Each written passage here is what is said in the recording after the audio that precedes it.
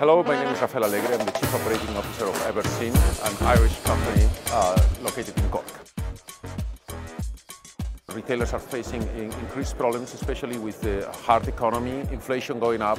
Consumers are struggling, and this reflects into, into retailers who are suffering problems of higher shrink and in their stores and in their supply chains.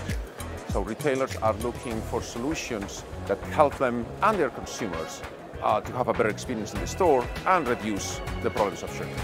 Everseen has come with computer vision, with AI and machine learning to introduce new ways of operating. In our performance, we don't want to be interrupting the customer all the time, especially to the green actor. Versus the red actor, we try to increase the friction. So he has a harder time to trick the system. Every day our AI is learning what is happening and is trying to correct that behavior.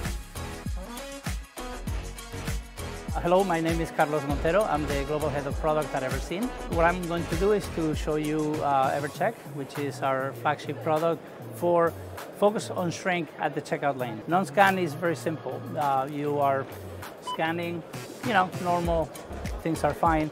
But then perhaps you, make a mistake. You know, your barcode is not visible. When that happens, we detect that uh, there was an, an error. We let the customer self-correct. In that case, as a customer, I'm, i get a message, I click, and then what I can do is rescan the product, everything is fine, I can go forward.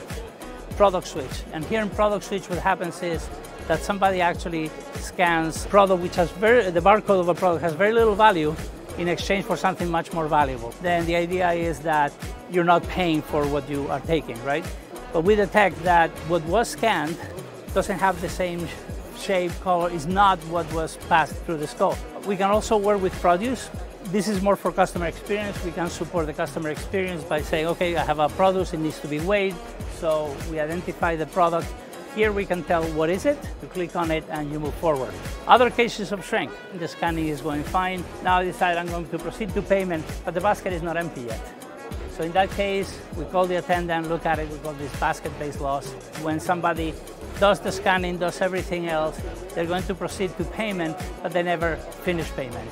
So they grab everything, they walk out of the scope, and then we detect that person leaving the field of view. When that happens, we send an alert, so security person can actually be alerted that something happened. We do this at scale. We do it on over 66,000 stores, over 80,000 stores. Right now we're processing, as we speak, over 20 million transactions every day, over 200 million products, and that's really happening uh, you know, in, in stores all over the world.